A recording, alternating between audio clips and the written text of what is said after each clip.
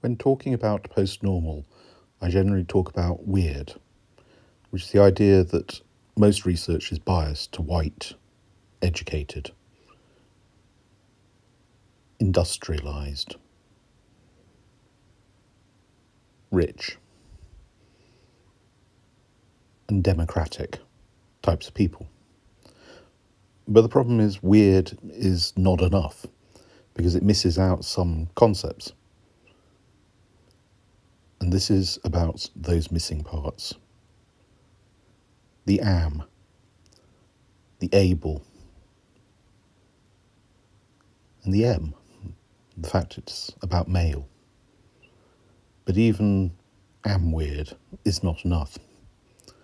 And the idea of I am weird is important.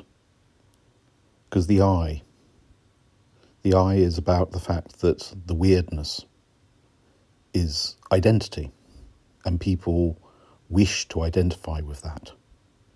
And in the identity, they also centre the idea that weird is normal, and that creates a sense of intention.